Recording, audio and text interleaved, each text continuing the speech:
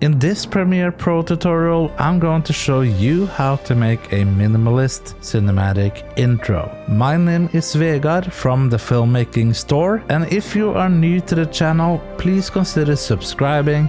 Got a lot of filmmaking and video editing tutorials coming up, so smash that bell! So the first thing I'm going to do is to select the type tool inside of Premiere Pro by clicking here, or you can also click T on your keyboard. Then I'm just going to click in the middle of the video clip right here. And since this is a drone clip from Croatia, let's just write Croatia. Then I'm going to select the text and I'm going to find another font. So the font that I really want to use in this tutorial is Bebas Neue. Just going to click that.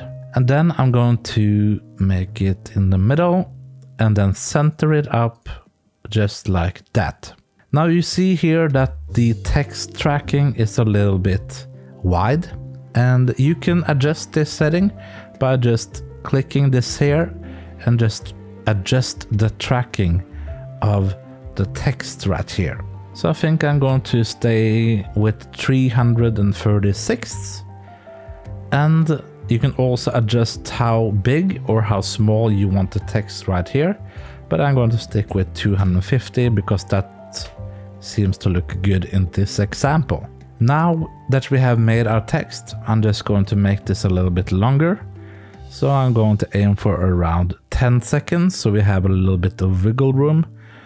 And I'm just going to center it out in the clip right here. So right now we just have a simple text that will come onto the screen, but I'm going to make it more interesting. So the first thing I'm going to do, select the text layer and then go to the first frame.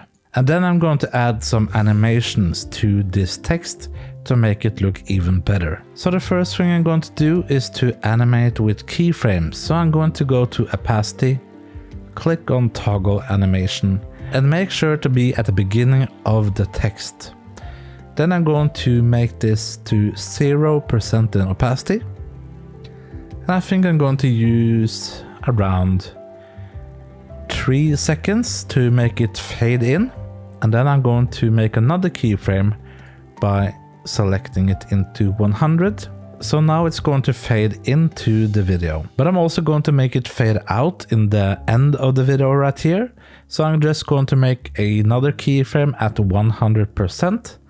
And then I'm going to scroll to the end of the video and make a keyframe where the opacity is zero. Now I'm going to highlight all of the keyframes that you can see right here. And I'm going to right click, hit Auto Bezier, and that will make the text more fluid, what you can see in the example right here.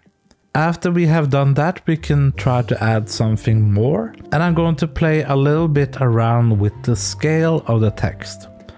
So in the beginning of the text, I'm going to click the toggle animation right there and I'm going to make it let's say for six. Well, let's try eight.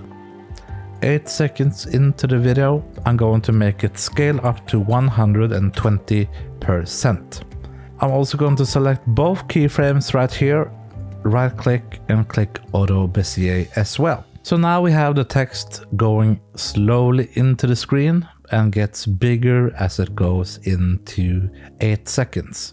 Another thing I want to add to this text is some blurriness. And to add some blur to our text, we're going to go to effects and search for Gaussian blur and just drag it onto our text layer. Go back to effect controls and scroll down to the bottom. And we are also going to make a little animation right here. I'm going to click the toggle animation switch and I'm going to set the blurriness to around 40%. Going to skip ahead to around 3 seconds into the video. Then I'm going to make another keyframe where the blurriness is going away. Unlike the other steps, we're also going to make this a auto bezier.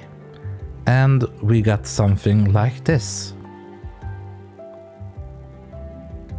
So this is a really easy way to make a cinematic minimalist intro inside of Premiere Pro. If you want to learn more, you can click the next video in the Premiere tutorial playlist. And if you are new to the channel, make sure to subscribe so you don't miss any future Premiere Pro tutorials. Thank you so much for watching. I will see you in the next video.